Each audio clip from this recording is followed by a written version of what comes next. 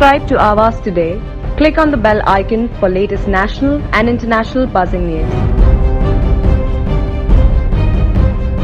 नवी मुंबई महापालिका क्षेत्र में आज कोरोना के 346 नए पॉजिटिव केस सामने आए। साथ ही आज 340 पेशेंट ठीक होकर घर लौटे हैं। आज नौ लोगों की कोरोना की वजह से मौत हुई है। अब तक नवी मुंबई महापालिका क्षेत्र में टोटल 26,777 कोरोना पॉजिटिव केस मिले हैं। इसमें से 22,690 पेशेंट ठीक होकर अपने घर लौटे है और 3,483 पेशेंट आप अभी कोरोना पॉजिटिव है। साथ ही 604 पेशेंट की कोरोना की वजह से मौत हुई है। आज पॉजिटिव आए हुए 346 पेशेंट नवी मुंबई महापालिका क्षेत्र विभिन्न वार्ड के रहवासी है। इसमें बेलापुर के 35, नेहरू के 49, वाशी के 46, तुर्भे के 56, कोपर खेलने के 51, घनसोली के 75, अरोली के 27 और दीघा के सात ऐसे 346 लोग आज कोरोना पॉजिटिव आए हैं। आज ठीक होके घर जाने वाले 340 पेशेंट में बेलापुर के 49, नेहरू के 87, वाशी के 29, तुर्भे के 42, कोपर खेलने के 50, घनसोली के 23, ऐरोली के 57 और दीघा के 3 लोगों का समावेश है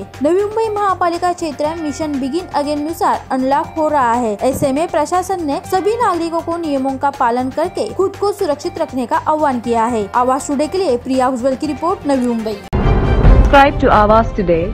Click on the bell icon for latest national and international buzzing news.